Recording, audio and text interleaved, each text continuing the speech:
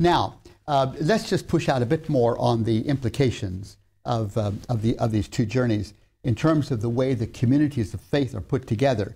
I'm looking at topic 12, and um, the theme is Medina and Jerusalem. And the uh, chapter that you would read in, uh, in uh, Ways is chapter 9, and in the dialogue, it would be chapter 12. Chapter 12. Just chapter 12 in the dialogue. now, in, in, um, in Medina, Muhammad became both prophet and statesman. In fact, there's a book written about that by a scholar called Montgomery Watt called Muhammad, Prophet and Statesman. It's in Medina that he brings those two together. And it was the Hijrah that made that possible. The Hijrah, as we said, is the migration of Muhammad from Mecca to Medina. This happened in the year 622. The Muslim era begins with the Hijrah. That's amazing. It does not begin in 570 when Muhammad was born.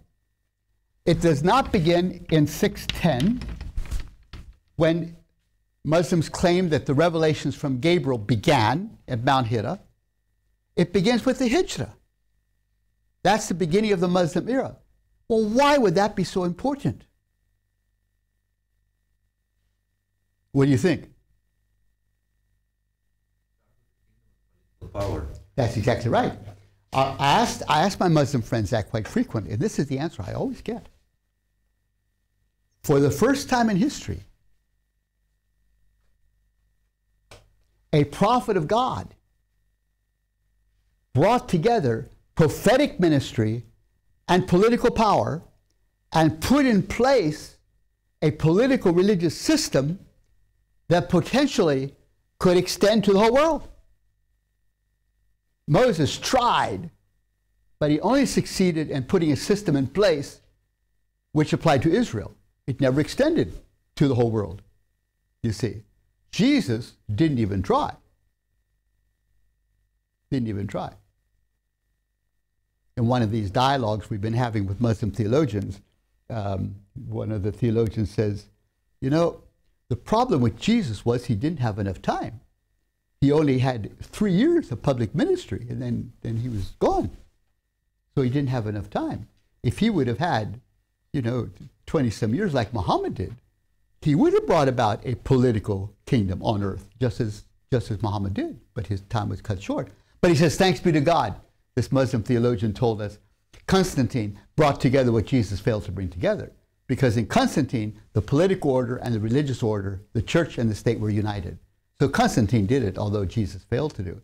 And we scratch our heads. We think Constantine was a distortion of what the gospel is about. he thought that this is this makes sense, you see. But you see, Muhammad brought it brought it together for the first time ever, where the political authority and the religious authority converged together and put it together in such a way that it can extend to all the world. Nothing this significant has ever happened in history. That's why the Hijrah is so extremely significant, theologically, politically, practically speaking. And so the Muslim movement, the Muslim era, begins with the Hijrah. And so, like I mentioned earlier, in Medina now, Muhammad is able to put together a political religious order which, and a constitution is adopted, which is able to extend to the whole world, potentially. By the time of his death, it had indeed, it had indeed extended to all of Saudi Arabia. This political religious order is referred to as the Dar al Salam.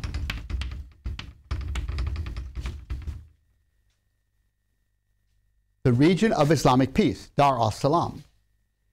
Now, not all the world is under Islamic peace.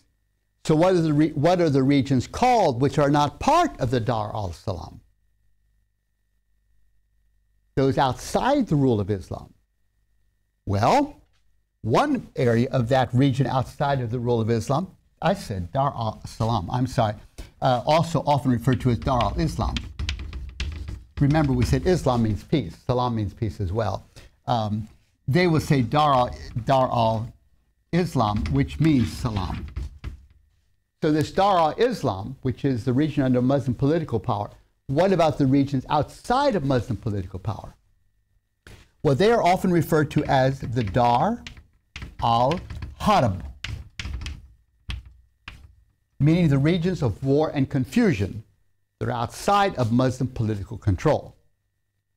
And so then you have other regions which are not Dar al Harb, they're not confusion necessarily, they're not under Muslim political control necessarily, but they're at peace with the Muslims. And those regions are referred to as the Dar al Ahad, the region of the treaty, the region of the covenant, the region which is at peace with the Muslims, although they are not Muslim. So the world is basically configured within the Medina model of looking at things as three different regions.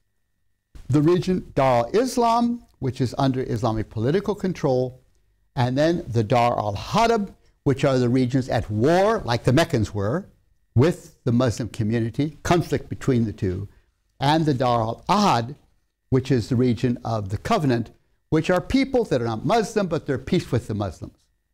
I think for many years, the United States was considered by the Dar al Islam as Dar al Ahad, a region of peace, which is at peace with the Muslims, and, uh, and um, um, not at war with that region, we're at peace with it. I, with the wars going on now, I think that's becoming more and more of a question.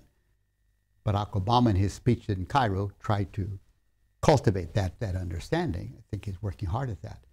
But um, but it's, it's, it's those three different regions.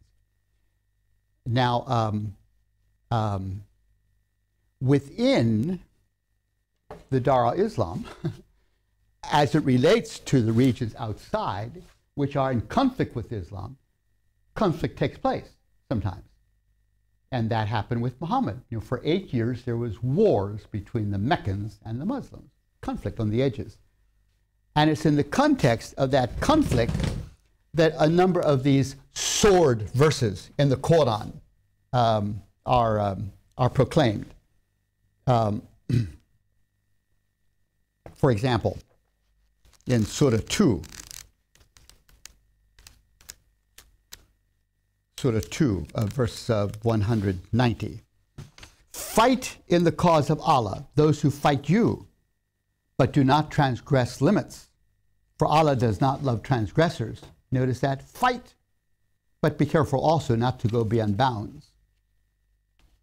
And slay them wherever you catch them, and turn them out from where they have turned you out. For tumult and oppression are worse than slaughter. But do not fight them at the sacred mosque unless they first fight you there. But if they fight you, slay them. Such is the reward for those who oppress faith. that if you are turned out of your regions, out of the land that you have possessed, then you need to fight. But if they cease, Allah is all forgiving, most merciful. And fight them on until there is no more tumult or oppression, and there prevail justice and faith in Allah. But if they cease, let there be no hostility except to those who practice oppression. You see, that, that, that ambivalence. You need to fight those that oppose you, those, have, those who have occupied your land, those who are seeking to destroy the Muslim movement, you must fight them. But then do it, do it without, without going beyond bounds um, and, and be ready to forgive when they cease from the hostilities or ready to, to talk with you. And there's a number of, uh, of passages like that in the Quran. And it's these passages, these sword passages, which uh, the jihadist stream, the modern jihadist stream, uh, I should say, the violent jihadist stream within modern Islam, which is a minority stream, but it's there. But they draw much of their um, um, sustenance from these sword passages in the Quran. It's very important that we hear how Muslims exegete these passages. And one of the struggles that the modern Muslim movement works with is how you exegete and interpret the Quran, the hermeneutic of the Quran. Uh, there is these doctrines in the Quran, this doctrine in the Quran, about some surahs abrogating other surahs. So um, these sword passages are passages revealed in Medina, not in Mecca. These are Medina passages, the sword passages. And so some would say, well, since they came later, the later revelations supersede the earlier revelations. So the Medina revelations would supersede the Meccan revelations. Tracking? So the sword passages would trump the more peaceful passages which come through in, Me in Mecca. That's one stream of interpretation. But others say, no, no, no, no, no, no, no, no, no. No, we need to look at context. And in many parts of our world, the Meccan context is really more appropriate to who we are. Take India, for example. There's what, 300 million in, uh, Muslims living in India, you know, in peace in a pluralistic society, generally speaking. And so the Meccan experience, where they don't have political power in India, but they're minorities within a larger nation, the Meccan experience is more appropriate to who we are as Muslims in India. So it would be the Meccan passages that would be most helpful to us in understanding how we should live within, within, the, um, within our modern pluralistic world. And that, brothers and sisters, is a major debate and discussion going on among Muslims. Then others would say, actually, chronology has nothing to do with it at all. It is this, this um, um, Umm al-Kitab we talked about yesterday, in which there is at the heart of the Umm al-Kitab, the mother of the book, uh, passages which are especially, um, um, especially define what Islam is all about. And so the whole Quran is informed by those, that soul, that soul within, within the Quran, uh, which define the essence of Islam, and all the rest of the Quran is simply amplification of that soul. And so those are skills that the Muslim ulama bring into the interpretation of Islam and related to, very much related to, the struggle between the um, pre-Hijrah Muhammad and the revelations that come there and the after Hijrah Muhammad and the revelations that come there and how you apply them in, in the modern world because the face of those revelations uh, is, is um, uh, in dynamic interaction. And uh, I'm very grateful that occasionally we as Christians are invited into those conversations at certain levels, certainly not at the deeper levels where the theological directions are set, but uh, we are invited into, into those conversations occasionally. And deeply grateful for the way some of us have been invited into conversations in Iran in regards to, um, in regards to these sorts of themes, as was the case in that presentation I made to that gathering of probably 1,500 Muslim theologians in Iran, deeply uh, humbled and grateful for that kind of invitation, and feeling there is really a quest to try to listen to what, what the church has to say about, about these kinds of, of concerns. I went through that rather rapidly, but these issues of the Meccan face and the, and the Medina face of, um, of the Islamic movement, uh, of the Muslim movement, the Ummah, the movements of the Ummah, are, uh, are very pertinent to how Muslims work at interpretation questions in regards to the Quran. And I think it behooves us to realize that there is um, there are special skills and insights and theological uh, commitments that Muslims bring to the interpretation of the Quran. And as outsiders, we need to uh, watch that conversation, uh, but be aware that uh, we cannot enter into it with the depth that the Muslims do. We strive to serve the contemporary Christian community and with a variety of Christian educational and evangelistic resources. To see TVS resource base, please visit tvseminary.com. Yes. Which position, as they talk about difference between Mecca's uh, uh, chapters and Medina's chapter, which position is winning now among the Muslim Ummah? Oh, I think it's a very dynamic dialogue very dynamic dialogue.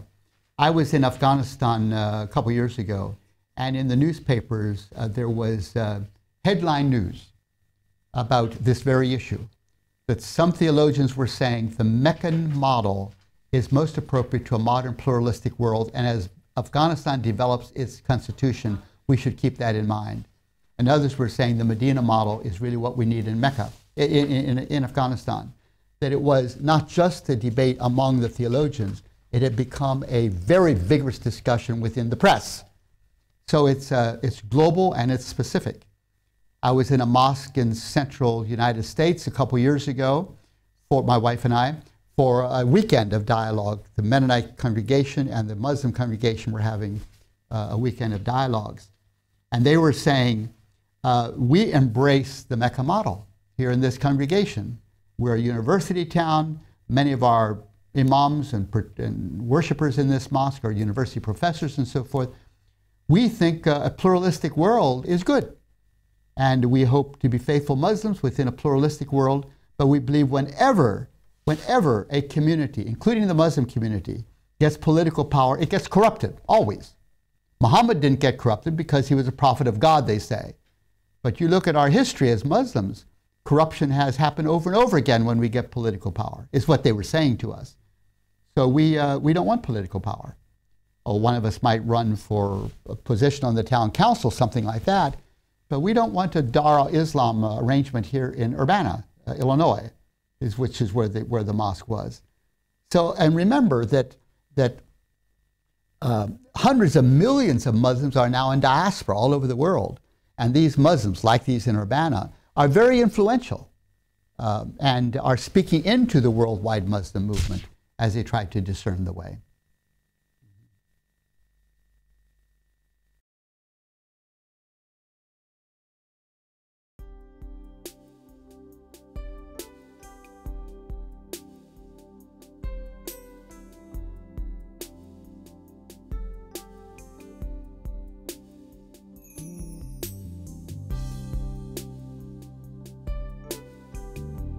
Now he who supplies seed to the sower and bread for food will also supply and increase your store of seed, and will enlarge the harvest of your righteousness.